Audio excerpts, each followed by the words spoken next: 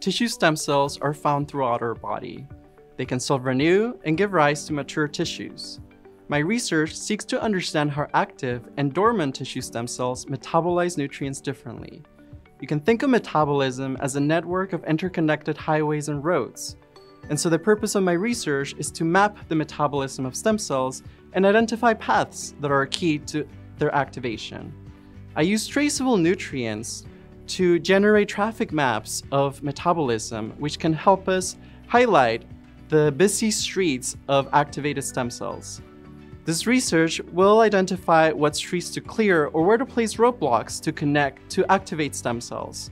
If we understand how active stem cells behave, then we could devise strategies to uh, shape the metabolism of dormant stem cells to look more like the metabolism of active stem cells.